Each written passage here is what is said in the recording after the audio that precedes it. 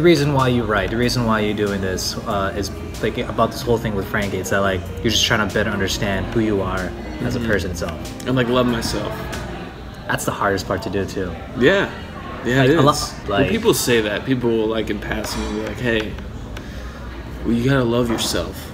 And it's like, you know, it's easy to say, but it's like when you're in a position, you're drunk Yeah.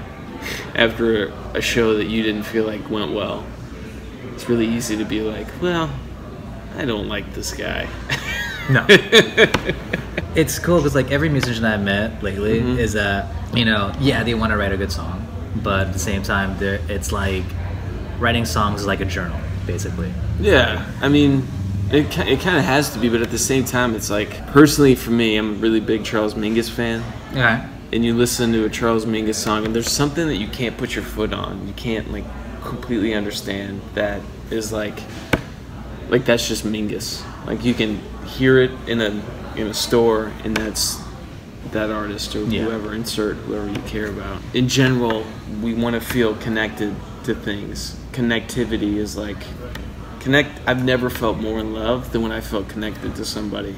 When I felt connected to her, and it was that connection was that's everything Yeah. in this life. He is like connect. I've never felt more in love than when I felt connected to somebody.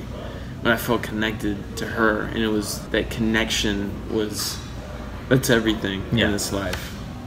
And I feel like that's as musicians, maybe our goal is to like Connect with other people. nix nix that hurdle that we all Yeah. face, and to find that connection with other people. It's actually a good point. Maybe I don't No, know. no. No. Curiosity though. The name Frankie. I I'm curious. Is this like somewhat related to also like maybe a Frank Sinatra thing or It's related to a lot of Frankies.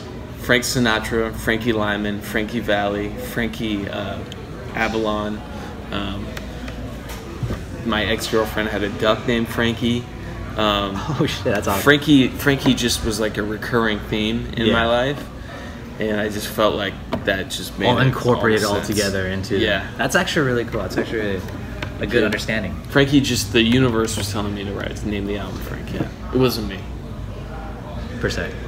It wasn't me. No, it's never me. Good or bad, it's not me.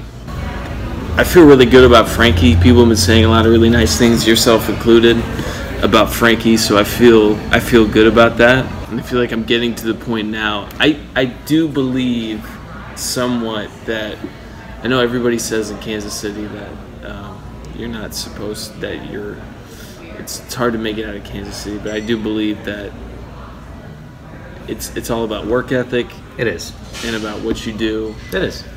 And fans in general will come to you if you work your ass off.